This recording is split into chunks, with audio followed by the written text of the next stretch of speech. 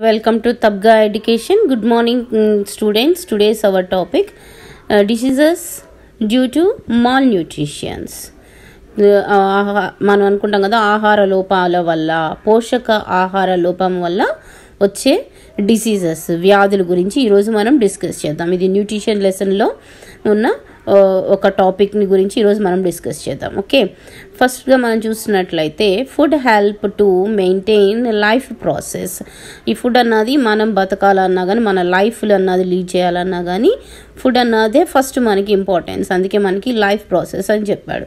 Our diet should be a balanced one which contains proper amount of carbohydrates proteins vitamins minerals salt and fats చెప్పుకుంటున్నాం. Our diet should be a balanced మన diet అన్నది బ్యాలెన్స్డ్గా ఉండాలి. దాన్ని మనం తెలుగులో సమతుల్యంగా ఉండాలి. అందులో అమౌంట్ ఆఫ్ కార్బోహైడ్రేట్స్ ఈ కార్బోహైడ్రేట్స్ తప్పక తప్పకుండా ఉండాలి.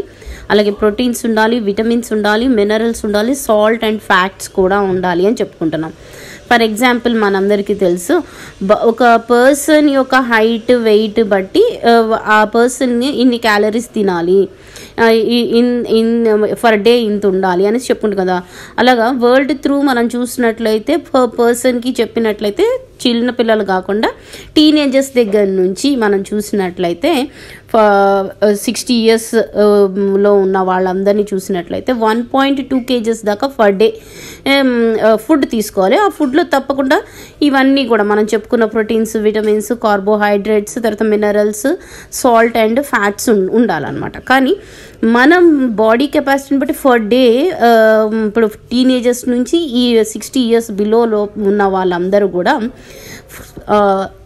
అప్రాక్సిమేట్లీ ఫోర్ కేజెస్ దాకా తినే కెపాసిటీ మనకు ఉంటుందంట కానీ మనం ఫర్ డే వచ్చేసి ఇంత తీసుకోవాలి. కానీ ఇంత మనం తీసుకుంటున్నప్పుడు one kg or two kgs మనం ఫుడ్ తీసుకున్నప్పటికీ కూడా కానీ అందులో తప్పకుండా ఈ కార్బోహైడ్రేట్స్ ఇవన్నీ కూడా తప్పకుండా proteins vitamins minerals salt fat అన్నవన్నీ కూడా బ్యాలెన్సింగ్గా ఉండాలి అనేసి చెప్తున్నాం అనమాట okay two third of world population is affected by food diseases ఇక్కడ మనం చూసినట్లయితే వరల్డ్ అంటున్నాడు. అంటే ప్రపంచం మొత్తంలో ఇక్కడ టూ అండ్ థర్డ్ అంటున్నాడు. అంటే మూడి వరల్డ్ మొత్తంలో ఉన్న పాపులేషన్లో వాళ్ళు థర్ త్రీ పర్సెంట్ ఉన్నారనుకుంటే అందులో టూ పర్సెంట్ దాకా కూడా ఈ డిసీజెస్ వల్లనే ఫుడ్ రిలేటెడ్ డిసీజెసే ఎక్కువగా ఉన్నాయి వాళ్ళకి అని చెప్తున్నాడు అనమాట ఓకే? అంటే ఫుడ్ రిలేటెడ్ డిసీజ్ అని చెప్తున్నాడు మరీ ముఖ్యంగా మనం చూసినట్లయితే వాళ్ళకున్న డిసీజెస్లో ఓకే? ఇంకా మనం చూసినట్లయితే most of them are facing various diseases due to lack of balanced diet ఇంకా మనం చూసినట్లయితే బ్యాలెన్స్ డైట్ అన్నది తీసుకోకపోవటం వల్లే అసలుకి డిసీజెస్ అన్నాయి వస్తున్నాయని చెప్తున్నాడు. It is very important to discuss about food deficiency diseases ఈరోజు మనం దేని గురించి డిస్కస్ చేయబోతున్నాము? అని మనం చూసినట్లయితే ఇంపార్టెంట్గా మనకి ఇక్కడ చెప్తుంది ఏంటి? Discuss about food deficiency diseases ఈ ఫుడ్ తీసుకోకపోవటం వల్ల ఎలాంటి డెఫిషియన్సీ ఫుడ్ డెఫిషియన్సీ అన్నది వస్తుంది అన్నది ఎలాంటి వ్యాధులు వస్తాయి ఈ సమతుల్యమైన ఆహారాన్ని తీసుకోకపోవటం వల్ల ఈ బ్యాలెన్స్డ్ డైట్ తీసుకోకపోవటం వల్ల ఎలాంటి డిసీజెస్ వస్తాయి అన్నదాన్ని మనం ఇప్పుడు కింద డిస్కస్ చేద్దాం okay eating of food that does not to have one or more than one nutrients in required amount is known as a malnutrition ఇక్కడ మనం ఏం చెప్పుకుంటున్నాము? మనం తినే ఫుడ్లో one or two nutrients more nutrients తగ్గినా కానీ అలాంటి అమౌంట్ ఆఫ్ ఫుడ్ని ఏమని చెప్తారు అని చెప్తున్నాడు?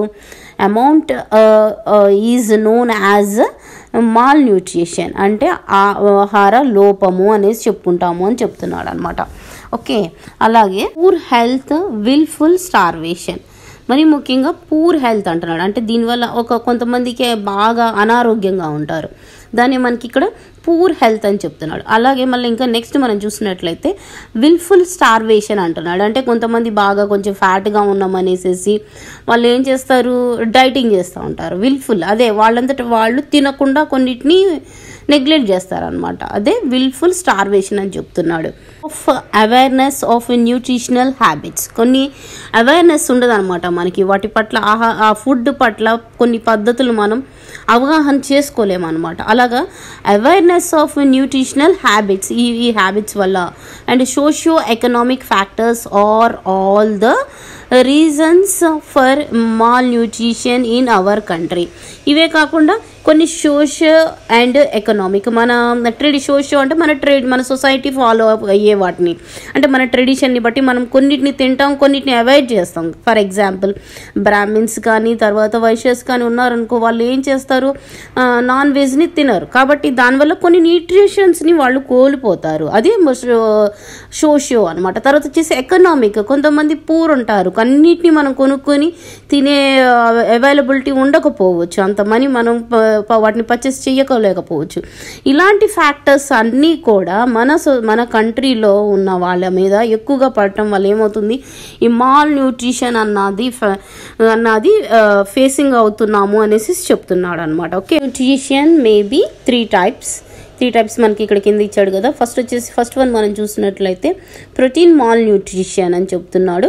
నెక్స్ట్ వచ్చేసి మనం చూసినట్లయితే calorie malnutrition third one protein calorie malnutrition okay ఈ త్రీ uh, ఇక్కడ కనిపిస్తున్నాయి. Letters observe harmful effect of malnutrition in children చిల్డ్రన్స్లో ఇవి ఎలాంటి uh, డిసీజెస్ని తీసుకొస్తాయో మనం ఇప్పుడు డిస్కస్ చేద్దాం. ఫస్ట్గా మనం చూసినట్లయితే ఫస్ట్ వన్ మనం చూసినట్లయితే kwashiorkor disease this is due to protein deficiency in diet ఇది దేని వల్ల వస్తుంది అంటున్నాడు ప్రోటీన్ డెఫిషియన్సీ వల్ల వస్తుంది అంటున్నాడు అసలు ప్రోటీన్ అంటే ఏంటి? ప్రోటీన్లో ఏ ఏ ఫుడ్లో ప్రోటీన్స్ ఉంటాయని మనం చూసినట్లయితే యానిమల్ బేస్డ్ ఫుడ్ మనం చూసినట్లయితే meat fish eggs and dairy food ఉంటుంది కదా డైరీ ప్రొడక్ట్స్ ఆ వాటిలన్నింటిలో కూడా మనం ప్రోటీన్ ఉంటుంది. అలాగే మనం చూసినట్లయితే లీఫీ వెజిటేబుల్స్లో కూడా అలాగే ఫ్రూట్స్ వెజిటేబుల్స్ తర్వాత నట్స్ అండ్ సీడ్స్ ఇవి ఉంటాయి కదా వీటిలన్నిటిలో కూడా ఈ ప్రోటీన్ అన్నది ఉంటుంది. కాబట్టి మనం డైలీ తినే ఫుడ్లో తప్పకుండా ఇవి ఉండేటట్టుగా మనం చూసుకోవాలన్నమాట. ఇవి ఒకవేళ లేకపోతే ప్రోటీన్ డెఫిషియన్సీ అన్నది వస్తుందని చెప్తున్నాడు. ఆ ప్రోటీన్ డెఫిషియన్సీ వల్ల ఏం జరుగుతుంది అంటున్నాడు? Body parts become due to accumulation of water in the in intercellular space ఇక్కడ మనకి ఏం చెప్తున్నాడు? సోలెన్ అంటే ఉబ్బిపోతుందంట. శరీరం అంతా కూడా బాడీ అంతా కూడా ఏమైపోతుంది? ఉబ్బిపోయినట్లుగా కనిపిస్తారంట. అలాగే మనకి ఇంటర్ సెల్యులార్ అంటున్నాడు. అంటే లోపల ఉన్న కండరాలన్నీ కూడా పెరుగుదల ఏమైపోతుంది తగ్గిపోతుంది అనమాట poor muscle development swollen legs fluffy face difficult to eat diarrhoea dry skin are the symptoms of this disease ఈ డిసీజ్ వల్ల ఏమవుతుందంట? వెరీ పూర్ మజిల్స్ డెవలప్మెంట్ అంటే నెమ్ ఈ మజిల్స్ అన్నవి చాలా నెమ్మదిగా వాటి గ్రోత్ ఉంటుంది అనేసి అని చెప్తున్నాడు. అలాగే అంటే వాళ్ళు తొందరగా హైట్ అన్నది కానీ తర్వాత వాళ్ళ బాడీ స్ట్రక్చర్ అన్నది కానీ పెరగదని చెప్తున్నాడు. తర్వాత ఇంకెలా ఉంటుందంట? వాళ్ళ లెగ్స్ అన్నీ కూడా ఎప్పుడు కూడా ఉబ్బిపోయి ఉంటాయి అంటున్నాడు అలాగే వాళ్ళ లెగ్స్తో పాటు ఇంకా ఏం ఉబ్బి ఉంటుందంట? Fluffy face. అంటే ఫేస్ కూడా మొత్తం ఉబ్బి ఉంటుందంట.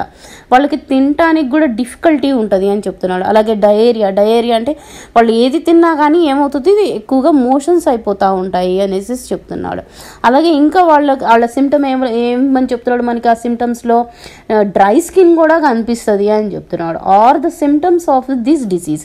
ఇలాంటి సిమ్టమ్స్ ఎవరిలో అన్న కనిపిస్తే వాళ్ళల్లో మనము ఇలాంటి డి ప్రోటీన్ డెఫిషియన్సీ ఉంది అనేసి న్యూట్రిషన్స్ చెప్తారనమాట ఓకే? సెకండ్ వన్ మనం చూసినట్లయితే మస్ this is due to deficiency of both protein and calories ఈ మరాస్మస్ అన్నది దేని డెఫిషియన్సీ వల్ల వస్తుందని చెప్తున్నాడు మనకి? Both protein proteins and calories. మనం ఆల్రెడీ ప్రోటీన్స్ అంటే ఏంటో చూసాం. అసలు క్యాలరీస్ ఏంటో చూద్దాం. క్యాలరీస్ అనేవి మనం తినే ఫుడ్ అలాగే మనం తాగే డ్రింక్స్ వల్ల. అంటే వాటర్ మనం ఇంత క్యా- ఇంత ఇన్ సిక్స్ గ్లాసెస్ దాకా వాటర్ తాగాలి ఫర్ డే అని. తర్వాత ఇలా బ్యాలెన్స్డ్ డైట్ తినాలని మనం చెప్పుకుంటున్నాం కదా ఇవన్నీ మనకి ఏమి ఇస్తాయి అని అంటే క్యాలరీస్ని ఇస్తాయి అనమాట ఆ క్యాలరీస్ అని దేనికి చేంజ్ అవుతాయి? ఆ క్యాలరీస్ మా హ్యూమన్ బాడీకి అసలుకి ఎందుకు కావాలి? అది ఎనీ ఆర్గాన్ యానిమల్సే కానీ హ్యూమన్స్కే కానీ ఎందుకు కావాలి అని అంటే ఎనర్జీ ఎనర్జీని ఇస్తాయి కాబట్టి. ఆ ఎనర్జీ మనం దేనికి యూజ్ చేస్తాం? Energy use of physical activities మనం ఫిజికల్ యాక్టివిటీస్ చేయడానికి ఫర్ ఎగ్జాంపుల్ మనం ఇప్పుడు లెగాలన్నా ప- ఏదైనా వర్క్ చేసుకోవాలన్నా ఎక్కడికైనా వెళ్ళాలన్నా మనకి ఎనర్జీ కావాలి. కాబట్టి ఇలాంటివన్నీ ఎనర్జీని ఏవి ఇస్తాయంటే క్యాలరీస్ ఇస్తాయి. ఈ ప్రోటీన్స్ ఇవన్నీ మనం తీసుకుంటేనే ఈ క్యాలరీస్ మనకు వస్తాయి ఈ క్యాల ఈ ప్రోటీన్స్ తక్కువ అయ్యి అలాగే క్యాలరీస్ ప్రోటీన్స్ తక్కువ అవుతే ఆటోమేటిక్గా క్యాలరీస్ కూడా మనకు ఉండవు అప్పుడు ఏమవుతుంది? ఎనర్జీ అనేది ఉండదు అనమాట దీనివల్ల వచ్చే డిసీజ్ ఏంటో చూద్దాం. Really this disease occur when there is an immediate second pregnancy or repeated child births.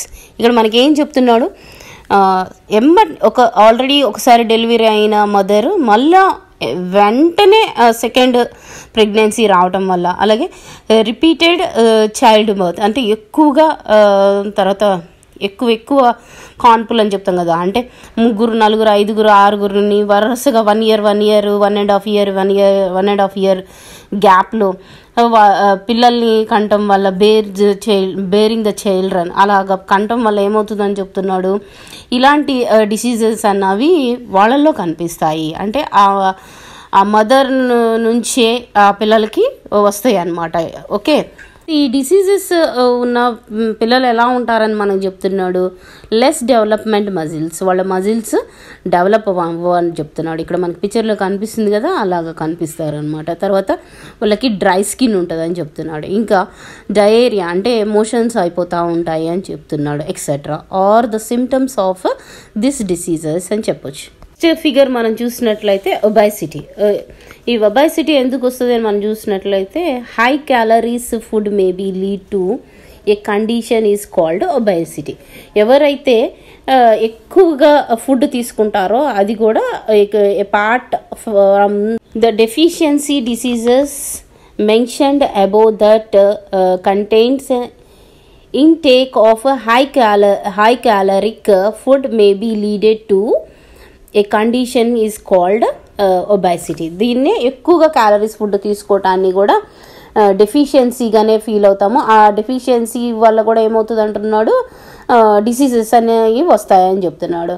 In this condition a person gain extra fat and becomes over weight ఈ దీనివల్ల ఏమవుతుంది అంటున్నాడు ఎక్కువ క్యాలరీస్ తీసుకోవటం వల్ల ఎక్కువ ఫుడ్ తీసుకోవటం వల్ల ఏం జరుగుతుందని చెప్తున్నాడు?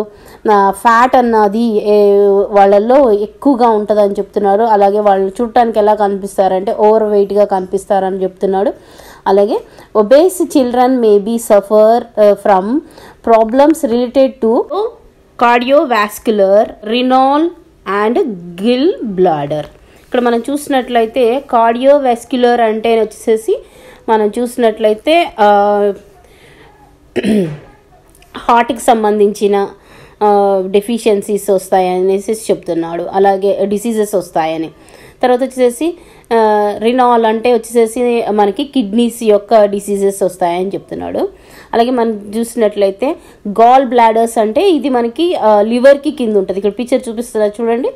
దీనికి సంబంధించిన డిసీజెస్ వస్తాయని చెప్తున్నాడు. ఇవే కాదు మనం చూసినట్లయితే అసలుకి ఒబైసిటీకి కారణం ఏంటి అనేసి మనం చూసినట్లయితే ఇప్పటి కాలంలో ఇది ఎక్కువగా ప్రతి ఒక్కరిలో ఒబైసిటీ అన్నది ఇప్పుడున్న చిల్డ్రన్లోనే కానీ పెద్దవాళ్ళలోనే కానీ అందరిలోని కనిపిస్తుంది. టీనేజర్స్లోని తర్వాత వచ్చేసి చిల్డ్రన్స్లోని తర్వాత మిడిల్ ఏజెస్లోని అందరిలో కూడా ఈ ఒబైసిటీ కనిపిస్తుంది. ఎందుకు కనిపిస్తుంది అని అంటే కొంతమంది ఎక్కువ ఫుడ్ తీసుకు జంక్ ఫుడ్ ఎక్కువగా తీసుకోవటం వల్ల ఈ ప్రాబ్లమ్స్ అన్నాయి కనిపిస్తున్నాయి. వీళ్ళకి ఇక్కడ ఇచ్చిన వాటికంటే కూడా ఇంకా మనం ఫర్దర్ ఎక్కువగా ఇప్పటి కాలంలో ఏం చూస్తున్నాము అంటే డయాబెటీస్ ఎక్కువగా చూస్తున్నాం కదా. ఇలాంటివన్నీ డిసీజెస్ కూడా వస్తాయి. కాబట్టి ఎక్కువగా ఫుడ్ తీసుకోవటం వల్ల ఎక్కువగా క్యాలరీస్ తీసుకోవటం వల్ల కూడా అది కూడా ఒక డెఫిషియన్సీ అది కూడా ఒక డిసీజెస్కి అది కూడా కారణమవుతుంది అని చెప్పుకుంటాం అనమాట ఓకే? కేఎఫ్సి ఉంటుంది తర్వాత బర్గర్ ఉంటుంది. అవి చూస్తే మనకి తినాలనిపిస్తుంది. కాబట్టి ఇవి ఈ కేఎఫ్సి ఉందనుకోండి ఒక పీసే. ఫర్ డే వచ్చేసి ఒక పీస్ మనం తిన్నాం అనుకో మనకి టేస్టీ ఫుడ్ తినాలనిపిస్తుంది కాబట్టి అది దాంట్లో కూడా క్యాల ప్రోటీన్స్ ఉంటాయి కాబట్టి అవి కూడా మనకి క్యాలరీస్ని ఇస్తాయి కాబట్టి ఓకే. అలాగా వన్ పీస్ తినాలి కానీ మనం ఎక్కువగా తినకుండా ఉంటే బాగుంటుంది అనమాట ఓకే? ఇలాగా మనం మన ఫుడ్ని కంట్రోల్ చేసుకోవచ్చు. విటమిన్ డెఫిషియన్సీ డిసీజెస్ విటమిన్స్ లోపం వల్ల కలిగే డిసీజెస్ లేదా వ్యాధులు. Vitamins are organic substance. అంటే ఇవి జీవ పదార్థం కలిగిన సబ్స్టెన్స్ అన్నీ ఉంటాయి అన్నమాట ఇందులో. అంటే వచ్చేసేసి ఏం చెప్తున్నాడు? They are micro nutri nutrients అనేసి చెప్తున్నాడు. అవి చాలా చిన్న చిన్నగా ఉండే న్యూట్రియన్స్ కూడా. అసలుకి విటమిన్స్ అంటే ఏంటి అని మనం చూసినట్లయితే మనం తినే ఫుడ్ మనం తీసుకునే లిక్విడ్స్ వీటి వల్ల మా విటమిన్స్ అన్నాయి మన బాడీకి అందుతాయి. వాటి వల్ల ఏమవుతుంది? గ్రోత్ అండ్ గుడ్ హెల్త్ అన్నది మనకు వస్తుంది ఓకే? అలాగే అలా గుడ్ హెల్త్ రావడం వల్ల ఏమవుతుంది? మన బాడీ కూడా డెవలప్ అవుతుంది. మన లోపల ఉన్న ఫంక్షనింగ్ అంతా కూడా నార్మల్గా జరుగుతుంది అని చెప్పుకోవచ్చు అనమాట రిక్వైర్డ్ ఇన్ స్మాల్ క్వాంటిటీస్ అంటే ఈ విటమిన్స్ మన బాడీకి ఎంత క్వాంటిటీలో కావాలి అంటే స్మాల్ క్వాంటిటీ ఎక్కువ క్వాంటిటీ అవసరం లేదు. తక్కువ పరిమాణంలోనే మనకి క్వాంటిటీతోనే మనకి ఇవి అవసరపడతాయి అని చెప్తున్నాడు. ఈ vitamins are not synthesized in the body ఇక్కడ మనకి ఏం చెప్తున్నాడు? అసలుకి విటమిన్స్ అన్నాయి బాడీలోనే ఎలక్ట్రానికలీ ప్రొడ్యూస్ ప్రొడ్యూస్ అవుతాయి మన బాడీలోనే అనేసి చెప్తున్నాడు అనమాట we do not general suffer from vitamin deficiency చాలా వరకు మనం ఈ విటమిన్ డెఫిషియన్స్తో డిసీజ్ అన్నాయి లేకపోతే uh, డెఫిషియన్సీ um, అన్నది ఎక్కువగా రాదని చెప్తున్నాడు అనమాట ఎందుకు రాదు అని అంటే of vitamins to our body is through two ways మన బాడీలో ఈ విటమిన్స్ రావటానికి టూ వేస్ ఉన్నాయని చెప్తున్నాడు. ఆ టూ వేస్ ఏంటి అని మనం చూసినట్లయితే one is diet and other is one is diet అంటే మనం తీసుకునే ఫుడ్ లిక్విడ్సే uh, కానీ వాటరే కానీ జ్యూసెసే కానీ ఏవైనా కానీ ఇవన్నీ. తర్వాత other is bacteria presence in the intestines that sized synthesized and supply vitamins to the body ఏం చెప్పుకుంటున్నాం? మనం తినే ఆహారం వల్ల విటమిన్స్ అన్నాయి వస్తాయి. మళ్ళీ మన లోపల ఉన్న డైజెషన్ సిస్టమ్ వల్ల కూడా ఈ వీటిలో ఉండే బ్యాక్టీరియా వల్ల కూడా ఏమవుతుంది? విటమిన్స్ అన్నాయి ప్రొడ్యూస్ అవుతాయి అని చెప్తున్నాం అనమాట ఓకే? అయితే అసలుకి vitamins are classified classified two groups one one water soluble vitamins B complex vitamin C. Water soluble vitamins అంటే ఇక్కడ ఏం చెప్తున్నాం నీటిలో కరిగే విటమిన్స్ అవేంటి అంటున్నాడు? B complex and vitamin C అని చెప్తున్నాడు. అలాగే మనం చూసినట్లయితే ఇంకా అదర్ విటమిన్స్ టూ విటమిన్స్గా మనకి క్లాసిఫై చేశారు. ఒకటి వాటర్లో కలిగే కరిగేవి ఇంకొకటి ఫ్యాట్లో కరిగాయి అనమాట ఇప్పుడు ఆ ఫ్యాట్లో కరిగేవి ఏంటి అని మనం చూసినట్లయితే other is a fat soluble vitamins vitamin A D E and కే కదా ఇవని చెప్తున్నాడు we take does not uh, contain uh, vitamins in right uh, proportion it can lead to vitamin deficiency order disorder వచ్చింది అనేసి చెప్తున్నాడు. అంటే మనం food సరిగ్గా తీసుకోకపోయినా ఈ విటమిన్స్ ఉన్న ఫుడ్ సరిగ్గా తీసుకోకపోయినా అలాగే వచ్చేసి ఈ విటమిన్స్ అన్నాయి మన బాడీలో ఒకవేళ ప్రొడ్యూస్ కాకపోయినా ఏమవుతుంది? విటమిన్ డెఫిషియన్సీ అన్న డిజార్డర్ అన్నది మనకి ఏర్పడుతుంది అంటున్నాడు. వేటి వల్ల ఏం ఏర్పడతాయో మనం ఇప్పుడు చూద్దాం. Letters study the following chart showing the vitamins available sources and deficiency diseases ఇవి ఇవి వీటి వేటి విటమిన్స్ లోపాల వల్ల ఎలాంటి డెఫిషియన్సీ వస్తుంది అన్నది మనకి టేబుల్ టూలో ఇచ్చాడు. దీన్ని మనం ఒకసారి డిస్కస్ చేద్దాం ఓకే చిన్న చార్ట్ మనకి చాలా ఇంపార్టెంట్ అన్ని కాంపిటేటివ్ ఎగ్జామ్స్లోనే అడుగుతూ ఉంటాడు. అలాగే మన ఎగ్జామ్స్లో కూడా అడుగుతాడు. కాబట్టి ఇది చాలా ఇంపార్టెంట్ దీన్ని ఒకసారి మనకి గ్రీన్ కలర్లో చార్ట్ ఇచ్చాడు కదా చూద్దాము. విటమిన్స్ ఫస్ట్ వచ్చేసి విటమిన్స్ అన్నాడు. తర్వాత వచ్చేసి రిసోర్సెస్ అని చెప్తున్నాడు. డెఫి డెఫిషియన్సీ డిసీజెస్ చెప్తున్నాడు. తర్వాత సిమ్టమ్స్ ఎలా ఉంటాయో కూడా చెప్తున్నాడు. ఫస్ట్గా మనకి ఏమి ఇచ్చాడు? థయమిన్ అన్నాడు. థయమిన్ వచ్చేసి ఎందులో ఉంటుంది? బి విటమిన్ వన్ అన్నాడు. విటమిన్స్ uh, అన్నవి ఏ ఫుడ్లో ఎలాంటి రిసోర్సెస్లో దొరుకుతాయని మనం చూసినట్లయితే cereals oil seeds vegetables milk meat fish and eggs వీటిలో దొరుకుతాయని చెప్తున్నాడు. అయితే వీటిని మనం తీసుకోపోవటం వల్ల డెఫిషియన్సీ ఆర్ డిసీజెస్ ఏమొస్తుంది అని చెప్పినట్లయితే బేరీ బేరీ అన్నది వస్తుంది అని చెప్తున్నాడు. ఈ బేరీ బేరీ డిసీజ్ వస్తే ఎలాగా సిమ్టమ్స్ ఉంటాయని చెప్తున్నాడు. వామిటింగ్స్ అవుతాయి అంటున్నాడు. ఫిట్స్ వస్తాయి తర్వాత లూజ్ ఆఫ్ ఎపిటైడ్ అంటే ఆకలి అనమాట appetite deficiency difficulty in breathing తర్వాత డిఫికల్టీ ఉంటుంది గాలి పీల్చుకోవటంలో కూడా. తర్వాత వచ్చేసి మనకి ఏం చెప్తున్నాడు? పెరాలసిస్ అన్నాయి కూడా uh, ఇలాంటివన్నీ సిమ్టమ్స్గా చెప్పారు నెక్స్ట్ మనం చూసినట్లయితే రైబోఫ్లావిన్ రైబోఫ్లావిన్ వచ్చేసి బి టూ విటమిన్ ఇందులో ఉంటుందని చెప్తున్నాడు. అయితే ఈ ఎలాంటి రిసోర్సెస్లో మనకు దొరుకుతాయని చెప్తున్నాడు. చూసినట్లయితే milk eggs liver kidney green leaves vegetables వీటిలన్నిటిలో కూడా ఈ బీ టూ ఉంటుందని చెప్తున్నాడు.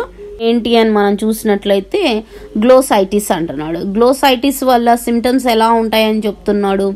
మౌత్ క్రాక్ క్రాక్ అవుతుంది అని చెప్తున్నాడు. అని చెప్తున్నాడు అట్ కార్నర్స్ అంటున్నాడు. కార్నర్స్లో మౌత్ అంతా క్రాక్స్ వస్తాయని చెప్తున్నాడు. తర్వాత రెడ్ అండ్ సోర్ టంగ్ అని చెప్తున్నాడు. ఓకే టంగ్ అంతా రెడ్గా అయిపోతుంది. తర్వాత మనకి చేదుగా టంగ్ అనిపిస్తుంది అని చెప్తున్నాడు. తర్వాత మనం చూసినట్లయితే చెప్తున్నాడు. ఈ ఫోటోఫోబియా అంటే ఏంటి అంటే వెలుతురుని కూడా వీళ్ళు చూడలేరు అనమాట చూడాలంటే భయపడతారనమాట అదే ఫోటోఫోబియా అని చెప్తాం మనం.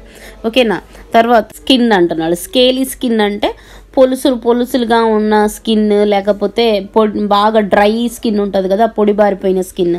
ఇలాంటివన్నీ కూడా సిమ్టమ్స్గా మనకు చెప్తున్నాడు. ఓకే? మనం చూసినట్లయితే నయాసిన్. నయాసిన్ వచ్చేసి ఏంటి అని అంటే యాసిడ్ అనమాట ఇది ఇందు- ఇందులో ఉండే విటమిన్ ఏమని చెప్తున్నాడు? B three. B three vitamin అనమాట అయితే ఇది రిసోర్సెస్ ఎందులో దొరుకుతుంది అని మనం చూసినట్లయితే కిడ్నీ కిడ్నీ లివర్. ఈ కిడ్నీ లివర్ అంటే మన లోపల బాడీలో అది తయారవుతుంది అనమాట kidney liver meat eggs fish తర్వాత ఆయిల్ సీడ్స్ వీటిలన్నిటిలో కూడా మనకి ఈ బి త్రీ విటమిన్ అన్నది దొరుకుతుంది. ఒకవేళ ఈ డెఫిషియన్సీ వస్తే ఒకవేళ అది లోపిస్తే లేకపోతే ఎలాంటి డిసీజ్ ఎలాంటి డిసీజ్ వస్తుంది అని మనం చూసినట్లయితే పెలగ్రా అంటే ఎలా కనిపిస్తుంది అంటే ఫోటోలో మనం చూస్తున్నాం కదా ఈ విధంగా చర్మం మీదంతా మచ్చలు మచ్చలుగా కనిపిస్తుంది అనమాట ఓకే? టిస్ అంటున్నాడు. జర్ డర్మటైటిస్ అంటే స్కిన్ మీద వచ్చే డిసీజెస్ అనమాట ఓకే? అది తర్వాత మనం చూసినట్లయితే డయేరియా అంటున్నాడు. అంటే లూజ్ మోషన్స్ అవుతాయి. మళ్ళీ లూజ్ ఆఫ్ మెమొరీ అలాగే వాళ్ళకి జ్ఞాపశక్తి కూడా తగ్గిపోతుంది. తర్వాత స్కేలీ స్కిన్ అని చెప్తున్నాడు. వాళ్ళ స్కిన్ కూడా ఎలాగ అయిపోతుంది అంట పొడి బోరిపోతుంది అనేసి చెప్తున్నాడు అనమాట ఓకే? చూసినట్లయితే పెరిడాక్సిన్ అని చెప్తున్నాడు. ఇది వచ్చేసి బి సిక్స్ విటమిన్ ఉంటుంది ఇందులో అని చెప్తున్నాడు. ఇవి అవైలబిలిటీ ఉండేవి ఎందులో? రిసోర్సెస్ అని మనం చూసినట్లయితే సీరియల్స్లో oil seeds vegetables milk meat fish eggs and liver ఇట్లాంటి వాటిల్లో వీటి అవైలబిలిటీ ఉంటుందని చెప్తున్నాడు. ఒకవేళ వీటి అవైలబిలిటీ మన బాడీకి కరెక్ట్గా అందకపోతే డెఫిషియన్సీ వస్తుంది. ఆ డెఫిషియన్సీ వల్ల వచ్చే డిసీజ్ ఏంటి అని అంటే అనీమియా అనేసి చెప్తున్నాడు అనమాట ఓకే? అంటే ఏంటి అని అంటే రక్తహీనత అనమాట ఓకే? వాళ్ళలో బ్లడ్ తక్కువగా ఫామ్ అవుతుంది అనమాట ఓకే? అలా ఇలాంటి వాళ్ళకి ఎలాంటి సిమ్టమ్స్ ఉంటాయని చెప్తున్నాడు? హైపర్ ఎరిటబిలిటీ ఉంటుందని చెప్తున్నాడు. దీనివల్ల ఏమవుతుంది? వాంతులు ఎక్కువగా అవుతాయి ఫిట్స్ వస్తాయి okay?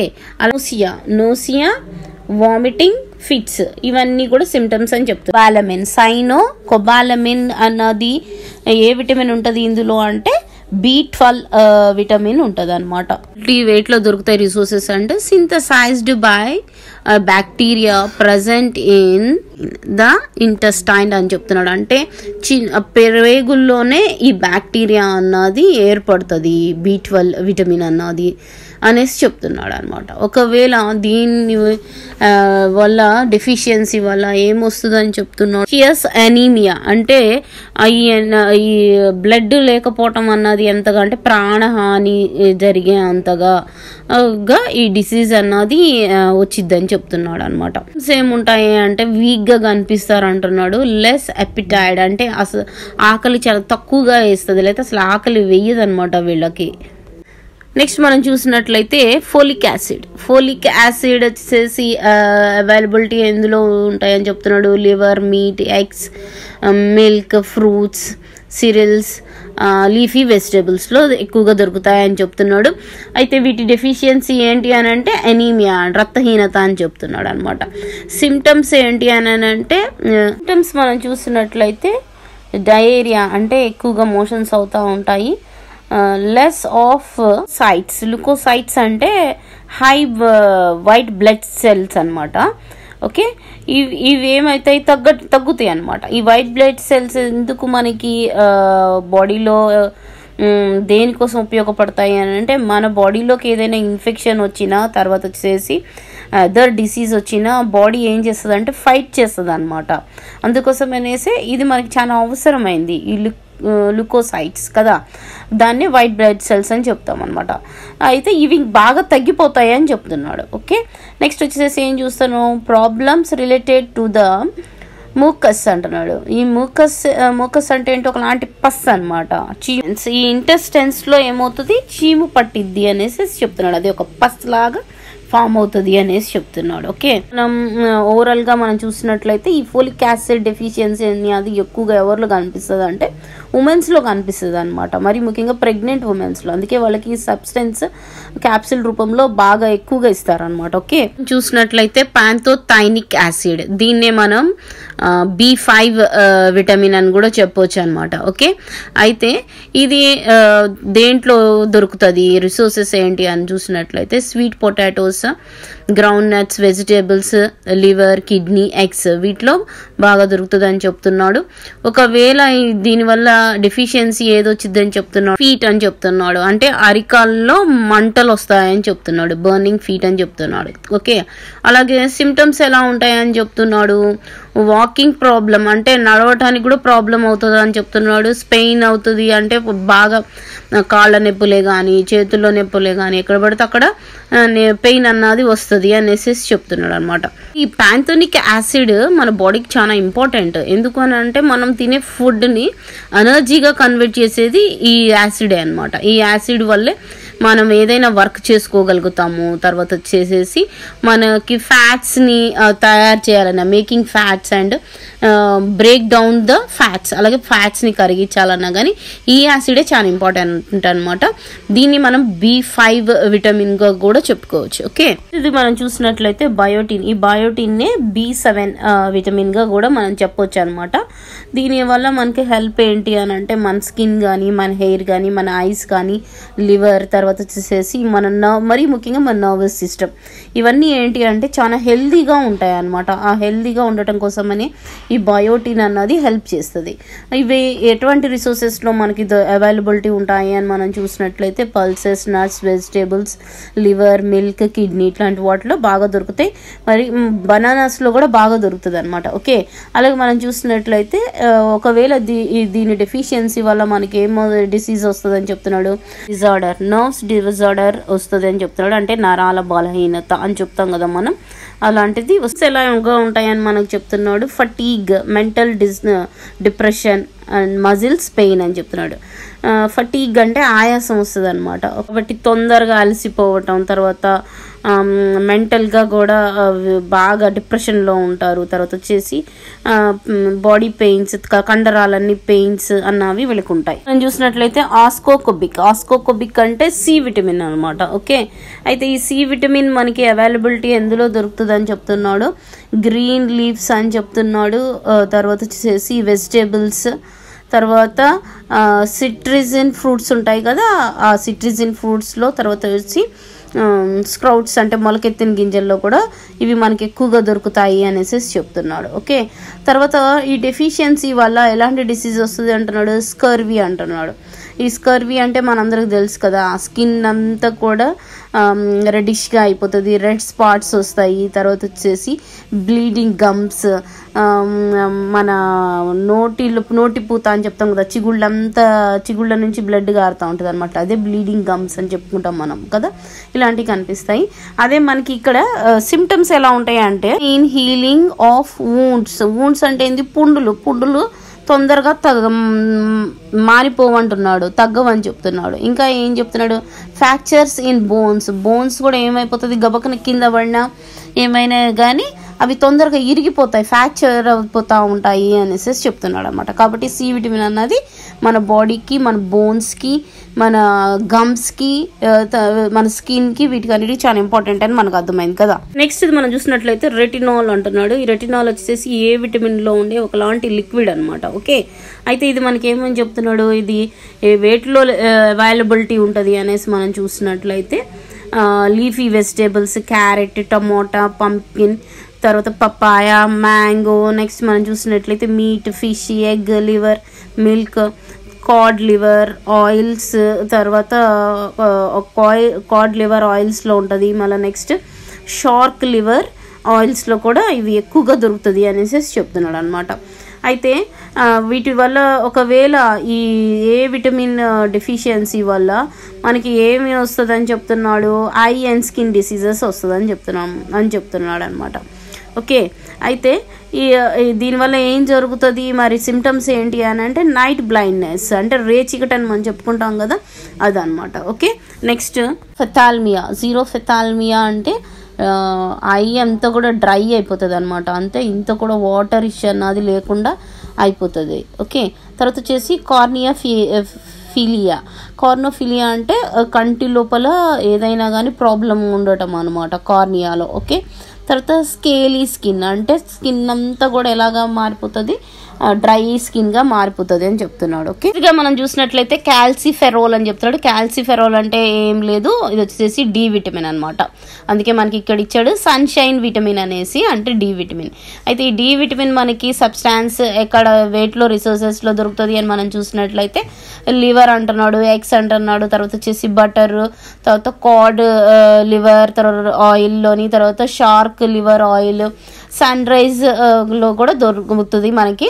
అదే మనకి డి విటమిన్ ఈ D vitamin formation of D vitamin from the substance of fat వీటిలన్నిటిలో కూడా మనకి ఈ డి విటమిన్ అన్నది దొరుకుతుంది. ఒకవేళ ఈ డి విటమిన్ డెఫిషియన్సీ కానీ మనకి వస్తే ఏం చెప్తున్నాడు? మనకి ఎలాంటి డిసీజెస్ వస్తుంది అంటున్నాడు రికేట్స్ అని చెప్తున్నాడు. రికేట్స్ అంటే మనందరికి తెలుసు కదా ఇక్కడ ఉన్నది కదా.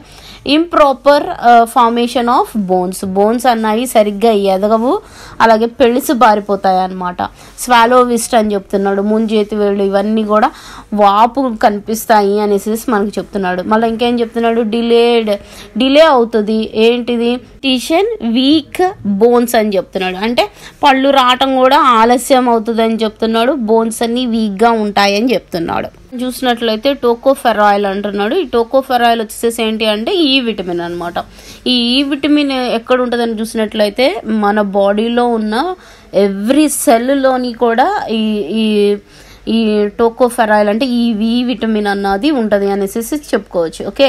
అవి ఎక్కువగా సబ్స్టెన్స్ మనకి రిసోర్సెస్ ఎందులో దొరుకుతాయి అని చెప్తున్నాడు ఫ్రూట్స్లో ఉంటాయి వెజిటేబుల్స్లో ఉంటాయి మళ్ళీ స్క్రౌట్స్లో ఉంటాయి. తర్వాత మనం చూసినట్లయితే సన్ఫ్లవర్ ఆయిల్లో కూడా ఉంటుంది దొరుకుతుంది అనమాట ఒకవేళ దీనివల్ల మనకి డెఫిషియన్సీ వస్తే మనకు వచ్చే డిసీజ్ ఏంటని చెప్తున్నాడు. రిలేటెడ్ డిజార్డర్స్ వస్తాయని చెప్తున్నాడు. అంటే సంతాన ఉత్పత్తిలో అంటే పిల్లల్ని కంటంలో అలాంటి పిల్లలు ప్రెగ్నెన్సీస్ రావటంలో అట్లాంటి వాటిలో ఏమవుతుంది? వీళ్ళకి డెఫిషియన్సీ అన్నది ఏర్పడుతుంది అనేసి చెప్ సిమ్టమ్స్ మనం చూసినట్లయితే స్టెరిలిటీ ఇన్ మేల్ అంటే మేల్స్లో వందత్వం వస్తుంది అని చెప్తున్నాడు. చూసినట్లయితే అబోషన్స్ ఇన్ ఫీమేల్ ఫీమేల్స్లో ఏమవుతుంది అంటున్నాడు గర్భస్రావాలు అంటే ప్రెగ్నెన్సీస్ అన్నవి మధ్యలోనే అయిపోవటం అన్నవి జరుగుతుంది అని చెప్తున్నాడు. ఇది ఫిలోక్వినోన్ ఫిలోక్వినోన్ అన్నది కే విటమిన్ అన్నమాట. ఈ కే విటమిన్ దేనికి ఉపయోగపడుతుంది? మన బాడీలో నుంచి ఏదైనా గాయాలు తగిలినప్పుడు తర్వాత ఈ బ్లడ్ అన్నది క్లాట్ అవటానికి ఉపయోగపడుతుంది అనమాట ఓకే ఇదే మనకి ఎందులో దొరుకుతుంది అని చెప్తున్నాడు. Green leaves vegetables milk meat and eggs. మరి ముఖ్యంగా క్యాబేజ్లో బాగా ఉంటుంది అనమాట కే విటమిన్. ఎన్సీ వస్తే ఏం జరుగుతుంది అంటున్నాడు? మనం చూసినట్లయితే problems related to blood clotting. Blood అన్నది అసలు క్లాట్ అవ్వదు అనమాట ఒక గబక్కన ఏమైనా యాక్సిడెంట్ జరిగితే ఆ బ్లడ్ అంతే పోతూ ఉంటుంది. ఓకే. అలాగే మనకి సిమ్టమ్స్ ఏం చెప్తున్నాడు ఇన్ బ్లడ్ క్లాటింగ్ అంటే రక్తం గడ్డగట్టడం అన్నది చాలా లేట్గా జరుగుతుంది అనమాట అదే మనకి డిలే అని చెప్తున్నాడు. ఓకే. తర్వాత ఓవర్ బ్లీడింగ్ అంతే బ్లడ్ అంతే కారిపోతూనే ఉంటుంది అనమాట అదే దీనివల్ల వచ్చే సిమ్టమ్స్ అని చెప్తున్నాడు.